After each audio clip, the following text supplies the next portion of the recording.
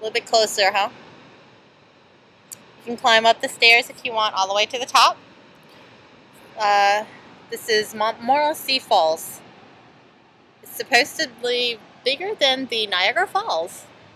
I don't think so, but I guess I'll take their word for it. And then you can also take the tram up as well. So the or the gondola. From there. Takes you all the way up.